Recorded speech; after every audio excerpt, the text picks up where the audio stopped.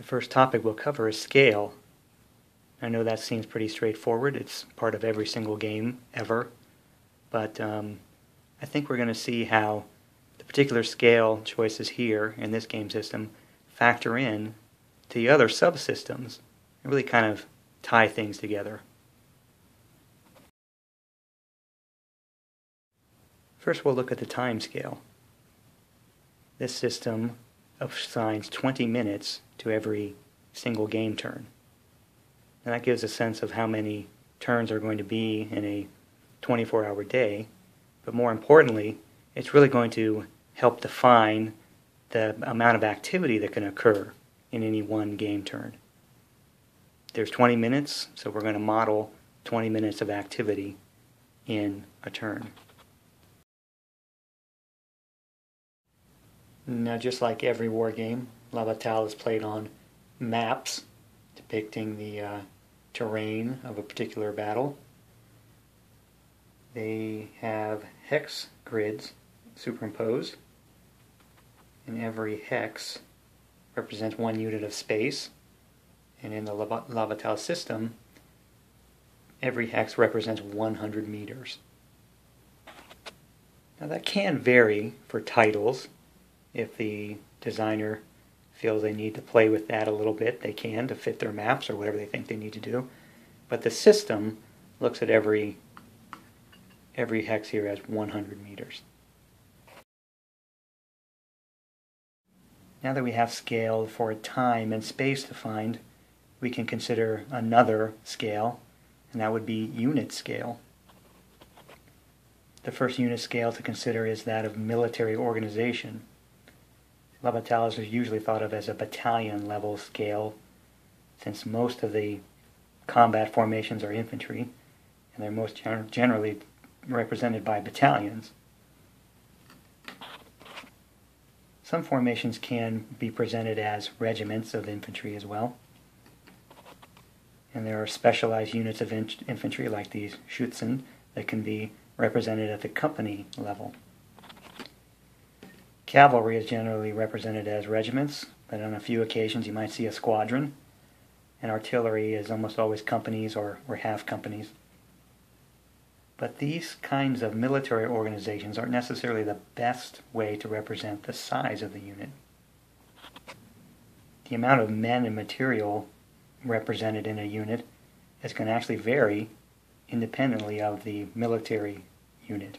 So here we have three battalions yet they actually represent three different quantities of men.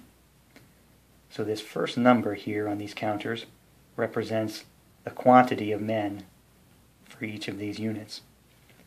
For infantry, each of these increments represents 100 men. So there are 800 men here, 700 in that battalion, and 600 in that third battalion. All battalions, but different quantities of men. For cavalry, each strength point represents 50 horses and riders. And for artillery, each strength point represents approximately 2 to 4 guns. Now this information is used in conjunction with the map scale to determine how much men and material can occupy any one hex in the map. We represent that lit by uh, placing one unit on top of another. This is called stacking, literally because of this mechanic for establishing it. One unit on top of another. But of course, this just represents this amount of men in the same space. They could be one battalion in front of the other, maybe side by side, depending on the quantity of men and material. Now, each title is going to set the stacking limits, the amount of men and material that can occupy one hex. But roughly you see numbers around the level of maybe 16 to 18 infantry strength points. Something similar for cavalry. Sometimes it's limited to a single regiment. And artillery, occupying a lot more space, you can usually put maybe four to six increments in one space, or along with our uh, along with infantry, one infantry unit. And this just regulates and also represents how these military units occupied the space that they were deployed in. This map represents some perfectly clear open terrain, but other map features can have different effects on the amount of men that can occupy it. So these two units are in some village and some cultivated areas, and those could have different stacking limits from open and clear terrain. And of course, the practical implications of this are you can't take a 120,000 man army and squash it all into one small space. They're going to end up occupying large areas of the map. we'll kind of see how that plays out with the other systems as we go forward. Now we have time and space and units all defined, but we're not building dioramas. We want to see things happen.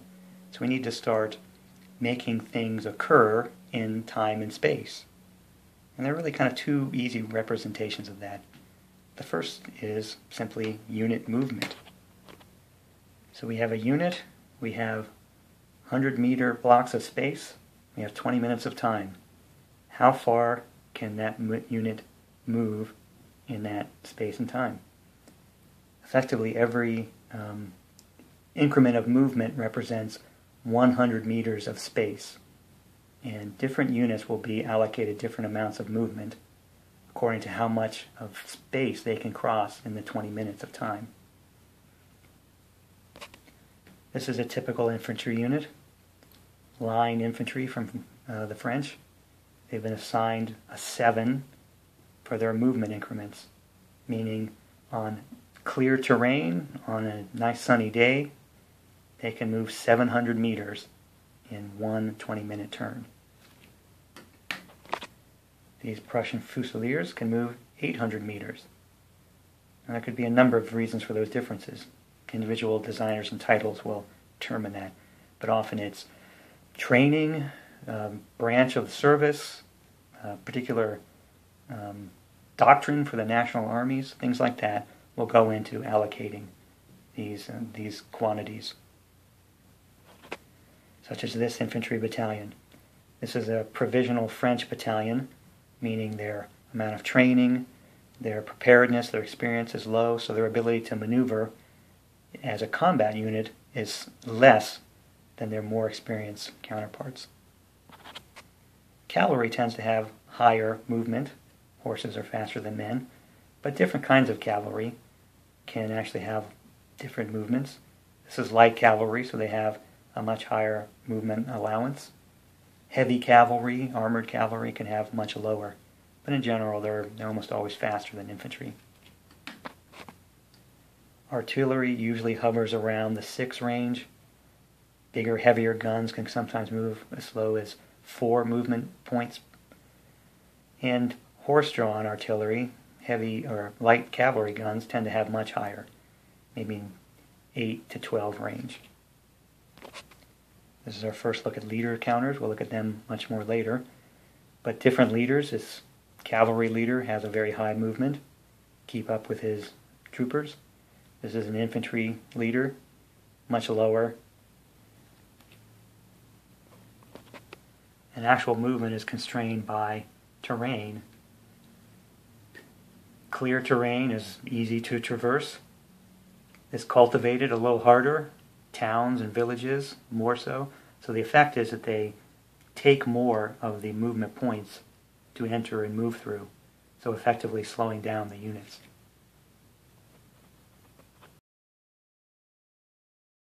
Another way to look at activity in time and space is the amount of combat that can occur in one 20 minute period. Now, the rule sets do agree on this largely very subtle differences, but for the most part, they agree that there are four ranged fire combats and two close in combats per 20 minutes. So, what this means practically is that each unit can either, well, both initiate a ranged fire combat and be the target of a ranged fire combat twice in a turn. So, this French battalion could initiate a fire combat on the Prussians here. That's one. The Prussians could then respond and fire back. That's two. Then the Prussians could initiate the combat, fire on the French. That's three. And the French would respond with four. Now, that's not representing the sequence of play because we're talking about activity in time and space. We'll talk about sequence of play later. But you can see that's you know a fair amount of combat in a 20 minute turn. And we're not even done yet because we still have close in combat to consider. Each side can be the, the initiator or the target of two close combats per turn, meaning the French could initiate a close combat against the Prussians, and then the Prussians in their opportunity could initiate another uh, close combat in return, assuming everybody survives all these combats long enough to engage in them. So we have time, space, unit size, and then motion and activity in that time and space. Well, what's the point of going over all this? Well, it certainly sets the fabric of the game system. It definitely sets the way many of the systems are going to interact. But I think what I like about it is it's going to set the balance of the systems with each other, especially this idea of the number of combats per turn. I can just trust the designers have done their work, their research, and that the historical aspect of this is true and reliable. And I don't have a problem with making that assumption. But one thing I can do as a player and a, an observer is just to see what happens with the game when I play and see if I can observe the kind of things occurring that historically are reported to have occurred. And that balance of movement and combat is pretty important. I think if we just do a few thought experiments, we were to cut in half the movement allowances to the units, obviously in the same 20 minutes we would see them move much less. But over the course of an entire battle, we would see far less movement across the entire spread of the map. And there's just something about that that we know wouldn't feel right. It should not take six hours to go, you know, half a mile, even under combat conditions. And there's a similar uh, path that takes us down with combat operations. If we were to cut the number of fire combats in half, what we would see is really a more static battlefield. We would see, you know, fewer losses, of course, but fewer side effects of the combat operations in general. So we would see maybe a greater fortitude amongst the combatants, less movement, I mean, combat should disrupt the lines. If we do that at a much lower pace, we'll see much less of that occurring. Of course, this, the opposite is true as well. If we were to double up the number of combats from four to eight, well, I think we'd start to see far too much damage done on the armies in too short a period of time. And if we were to try to those experiments, we'd, we'd have to balance something out to make it keep the correct outcome that really we expect If we cut the number of fire combats in half, well, we'd have to change the combat resolution charge to make sure that enough damage was exacted by those same combats. So I think what we're seeing is that the balance is there. We have to keep the balance, and if we find that the current system is giving it to us, we should be pretty happy with that. Now I think we'll see that the amount of activity in the space and time we've, def- we've defined here is going to have a really profound effect on the most fundamental system in the game, and that's the one we will be covering in our next presentation.